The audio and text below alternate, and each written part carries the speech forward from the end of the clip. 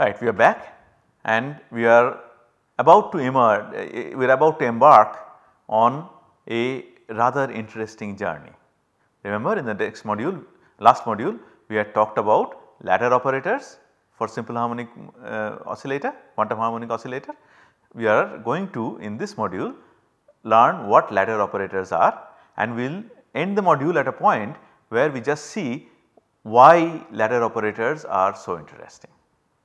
Okay. But let us quickly recap what we have done in the last module.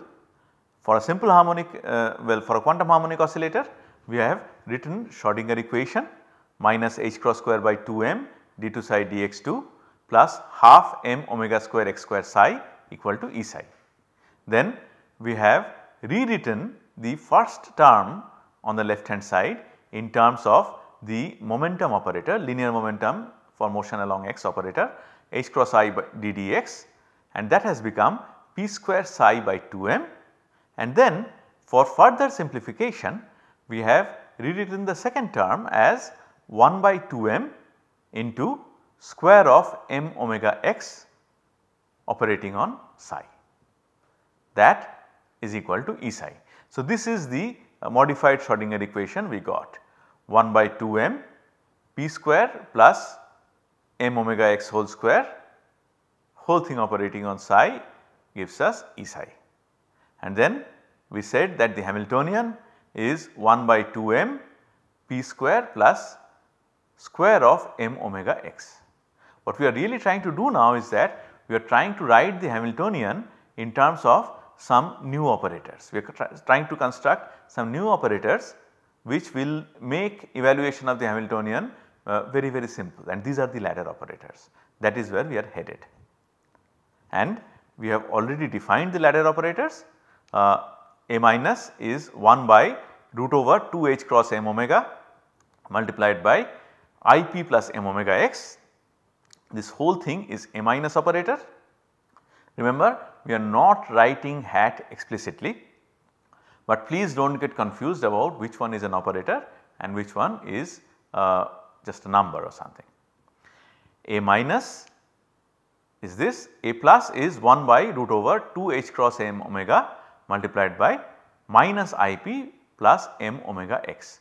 This A minus and A plus as we will see are really the ladder operators and why this is minus, why this is plus we will see later. What we are trying to do now is that we got it, we, we started working with this because in the Hamiltonian if this, if these were numbers this is an e square plus u square plus v square kind of quantity that would have been just a simply product of this u plus v and minus u plus v well iu plus v and minus iu plus v kind of quantities. Okay. If, the, if these were numbers p and m omega x then just by multiplying them together I would have got it, I would have got the Hamiltonian. But obviously we will not because these are not numbers, it involves position and momentum operators. So let us see what we get. So essentially what we will do is we are going to express the Hamiltonian in terms of these operators A minus and A plus ladder operators and we will see why they are called ladder operators of all things. Okay. As we said when we close the last uh, module, we are going to work out A minus A plus and I would like you to work out A plus A minus after this module. Okay? Here goes. So, if you want to work out A minus A plus what do we get? First of all the easiest thing to work out with uh, to work with is this uh, coefficient.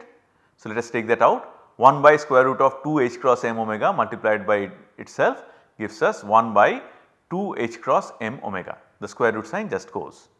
And inside the bracket first term is i p dot minus i p. So, i into i is minus 1 and there is a minus 1 already so that becomes plus 1 p dot p is written as p square. At the sake of boring you let me repeat once again p is an operator and not a number p square is an operator and not a number great. I think we have said it enough number of times now. Let us go ahead. So, first one is p square. Next what do we get? Uh, we can uh, work with this i ip and this m omega x we will get i m omega p x this ordering is important okay. In the next one uh, we will see, but let us get done with this m omega x dot m omega x thing first. What do we get there? m square omega square x square. Again remember x is really an operator. What is left? Uh, what is left is m omega x dot minus i p. In that what we get is minus i m omega x p. Okay. So, inside the bracket what we have got is p square plus i m omega p x minus i m omega x p plus m square omega square x square that is your a minus a plus. Now if p and x were numbers then this i m omega p x minus i m omega x p would have been 0, but well I am breaking a promise now I have said it again um, these are not numbers these are operators as we have said time and again. So this is not really equal to 0 as we will see. Okay. So what is it? We will see. But first let us tidy up a little bit. Let us write a minus a plus as 1 by 2 h cross m omega multiplied by p square plus m square omega square x square. Do you see a pattern emerging here? Do you see something? Is this looking like something that is already there on the slide? Well keep looking we will come back to it. But let us write this minus i m omega is common of course you could have taken plus i m omega common as well but this is how Griffith has done it so I want to stick to it. Minus i m omega is common and you are left with x p minus p x. Now x p minus p x for operators is called a commutator okay we will come back to that. Before that let me just say this the first term that we get 1 by 2 h cross m omega p square plus square of m omega x square of m omega x. I hope you have already spotted it elsewhere on the slide if not just wait a little bit. Second term will be minus i divided by 2 h cross m omega in the numerator m omega in the denominator just cancel and you are left with minus i by 2 h cross x p minus p x. Now see what is the first term? Is not it something that is closely related with the Hamiltonian? Yeah? Just multiply this Hamiltonian 1 by 2 m p square plus square of m omega x by 1 by h cross omega and you get what you have on the left hand side already. Yeah? So, a minus a plus is equal to the first term is going to be 1 by h cross omega h. Remember what we are trying to do? We are trying to express the Hamiltonian in terms of ladder operators. We are uh, already we have already made some progress in that. Okay. Now the second one xp minus px as I told you is called the commutator and in the language of quantum mechanics it is written as x comma p within third brackets. Okay. I mean you can do it for any pair of operators say operator A and operator B a comma b in third brackets basically means AB minus PA. And here again uh, please do not forget that the uh, sequence is important. Commutator of A and B has the opposite sign of commutator of B and A.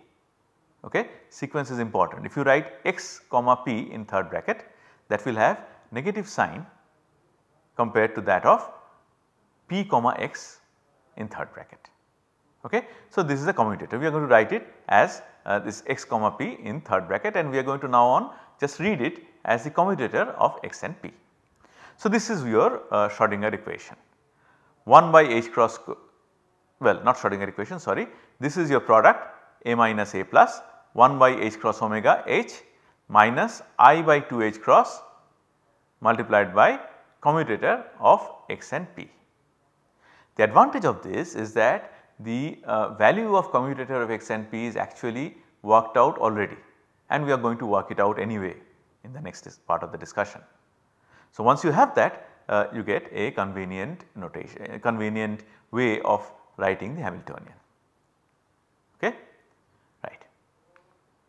So, uh, Hamiltonian H then becomes just rearrange this H cross omega multiplied by A minus A plus I am just rearranging this equation making the Hamiltonian H the subject of formula H cross omega multiplied by A minus A, A plus plus I by 2 H cross multiplied by commutator of x and p. So, what would be the next step? The next step would be to work out the value of the commutator of position and momentum operators, right. Let us do that. Now, let us not forget that these are operators and uh, to work with operators they must uh, operate on some function right. I mean there was this joke that somebody was asked to work out uh, sin x by x and they cancelled x and x and were left with sine.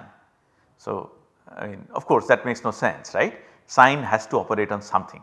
Here also the commutator of x and p itself is a function and must be able to operate on some function. Let us take a generic general function fx and let us see what happens when the commutator operates on fx. While doing that let us not forget that uh, the momentum operator is h cross by i d dx we are going to use it. Let us do it. So, what will it be? First we have x dot p operating on uh, psi p operating on fx. So, it is x dot h cross by i dfx dx. So, in this term what I have done is p has operated on fx p operator h cross i h cross by i d dx and then it is left multiplied by x. Operation of x is just multiplication by the position value okay that gives us the first term. What happens in the second term? It is opposite right it is minus px. So, it will be something like this minus h cross by i d dx operating on now the product of x and f, f of x. Okay. I hope this is clear to everybody. Commutator of x and p operating on fx gives us x dot h cross by i dx minus h cross by i ddx of the product of x and f of x. Of course, you know very well what to do when you have to differentiate uh, a product yeah ddx of uv is equal to u dv dx plus v du dx. Let us do that first term remains same second term first I can uh, take x out and I can write minus h cross by i x multiplied by ddx of f of x. Second one will be f of x will come out. So, I get minus h cross by i f of x ddx of x right. Now see uh, things have become simpler. Why? Because these two terms cancel each other. The first one is h cross x by i d f of x dx minus h cross x by i d f of x dx. So, this is 0 and also in the second term uh, well in the third term actually d dx of x what is d dx of x I mean that is the easiest question one could ask d dx of x is obviously 1. So, these first two terms give you 0 in the second term this factor becomes 1. So, you are left with minus h cross by i f of x right. So, the commutator of x and p operating on f x gives us minus h cross by i f x eigenvalue equation. So, what is the value of the commutator of x and p? The value is minus h cross by i or I have written it in another form i h cross. This is a very fundamental uh, relationship that comes handy in many uh, applications of quantum mechanics. Here we have just worked it out uh, and we will see how this makes the subsequent treatment uh, extremely uh, simple and useful. So, commutator of x and p equal to i h cross. What we will do it what we will do is that we are going to take this and we are going to plug it into the uh, expression for Hamiltonian that we have worked out earlier Hamiltonian is h cross omega multiplied by remember a minus a plus plus i by 2 h cross multiplied by the commutator. Now instead of this commutator I am going to write i h cross okay. Let us do it. So we get h Hamiltonian is equal to h cross omega multiplied by a minus a plus minus half. The minus half ok let us check instead of this we will write i h cross i into i is minus 1 h cross in the numerator and h cross in the denominator uh, cancel each other left with 2 in the denominator. So, minus 1 by 2. So, it is so simple. The Hamiltonian simply becomes h cross omega a minus a plus minus half right. So, we have been able to write the Hamiltonian in terms of ladder operators and it has taken a rather simple form. Now remember your homework is you have to work out a plus a minus. Please do it and please work out the relationship between Hamiltonian and a plus a minus. You will see that you get a very similar expression instead of minus 1 you get plus 1 here. So, Hamiltonian can also be written as h cross omega multiplied by a plus a minus plus half. Okay. So, this is something that I would like you to work out by yourself. Another point that I will just give you the result and you should be able to work out now that we have discussed the uh, commutation of x and p is the commutation of a minus and a plus. See here uh, you can take the Hamiltonians yeah and you can make the Hamiltonian operate on some function whatever you get they should be equal to each other. Now instead of the Hamiltonian take these expressions and from there you will get a relationship between a plus and a minus a plus a minus and a minus a plus that will give you the commutator of a minus and a plus. It will you will see that the commutator of a minus and a plus turns out to be 1. Once again I will not work it out because it is going to become repetitive but I request you to do it. If there is any doubt please post on the forum we will uh, work it out for you whenever we have the live session if required. Okay? But uh, it is important that you do things by yourselves. Okay? Otherwise uh, I go on saying something and you go on listening it will not sink in. You understand it only when you write things. So, uh, I will of course I will not uh, I mean plunge you into water, but what I will do throughout the course is I will solve part of it and whenever there is something that is repetitive I will request you to do it yourself okay that is how it will work great. So, we have some uh, interesting relationships in hand we have expressions of Hamiltonian in terms of the ladder operators and we have this commutation relation of ladder operator also that the commutator of a minus and a plus equal to 1. What we are not convinced to you so far yet is uh, why is it that these are called ladder operators of all things. Let us see if we can come to that shortly. So, for now what we can also do is we can write the Hamilton after all Hamiltonian is the same thing right. We can write it in the general form h cross omega a plus minus a minus plus plus minus 1 by 2 which means if you take the top ones you get h cross omega a plus a minus plus half. If you take the bottom ones you get a minus a plus minus half. Okay. So, I have just written the, these two together.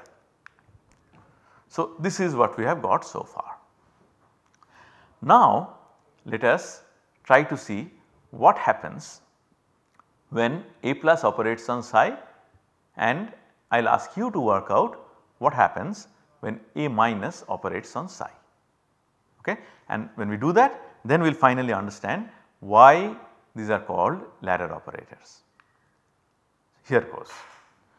We know h psi let us take one I mean we can take uh, either of the two I will just take this h psi equal to h cross omega multiplied by a plus a minus plus half operating on psi that will give us E psi. What is E? E is the energy corresponding to the wave function psi right. Now what we want to do is we want to write a similar Schrodinger equation not for psi but for A plus psi. See A plus is an operator right. So, when this operator operates on psi a function it will give us some other function okay. Whether it is an eigenfunction whether it is not an eigenfunction we will see that it will give a function right. So, we want to write Schrodinger equation for this function a plus psi and it will uh, unfold in front of our eyes whether a plus psi is also an eigenfunction of Hamiltonian or not. Let us proceed. So, what we will do is in this Schrodinger equation we instead of psi we just write a plus psi left hand side. So, here h cross omega a plus a minus plus half instead of psi I have written a plus psi. Okay. What will the right hand side be? It will not be E psi, it will be something like E dashed multiplied by A plus psi if it is an eigenvalue equation. Some other energy uh, will be there corresponding to the A plus psi wave function. Is it there? Does it still remain eigenvalue equation? We will see. Let us proceed. So, uh, what we can do is uh, we can just take this A plus uh, inside the bracket yeah the associativity is still there is not it. So, we can just take it. So, it becomes h cross omega then inside bracket a plus a minus a plus plus half a plus this whole thing operates on psi. Then what do you get? Okay. What we are doing now is simple mathematical manipulation. When you do a lot of it then the logic sort of comes to you naturally. For now just bear with me. So, what we do is that uh, we like to take things common and we will take this a plus outside the bracket. Remember I cannot take this a plus, I have to take the one that is on the left. In the second term that question does not arise there is only one operator. In the first term however you have to be careful because you have a plus a minus a plus. I am taking this first a plus on the left outside. When I do that I get h cross omega a plus operates on a minus a plus plus half operating on psi right. Now I do not like a minus a plus at the moment. Why? Because you see look at this a minus a plus plus half and look at the Hamiltonian. What we have inside the Hamiltonian is a plus uh, well a plus a minus plus psi. If I want to take a minus a plus a minus a plus then it would better be minus Okay. So, what I try to do is I try to somehow find a way of replacing this a minus a plus by a plus a minus if I can. And to do that we will use this uh, commutation relation. The commutator of a minus and a plus is 1. This is something that I have asked you to work out yourself. Okay. So, let us expand this a little bit. What it means is a minus a plus minus a plus a minus is equal to 1 or a minus a plus is a plus a minus plus 1. Next step should be very obvious. I will take this and I plug it in there. Why am I doing this? In order to get an expression like that of the Hamiltonian. So, I get h cross omega a plus and inside the bracket I get a plus a minus plus 1 plus half psi. So, I move the half first so that I have a plus a minus plus half very much like what is there in the Hamiltonian and then we will see what to do with this one. And we can take this a plus in front as well because h cross omega will be a number anyway. So, I will write like this a plus operating on h cross omega a plus a minus plus half plus 1 psi. Why did I take a plus uh, in front because h cross omega into a plus a minus plus half is the Hamiltonian here right that is the Hamiltonian. So, we write like this we just break into two terms first one is a plus h cross omega multiplied by a plus a minus plus half operating on psi. So, this is the Hamiltonian plus h cross omega a plus psi we are nearing our answer.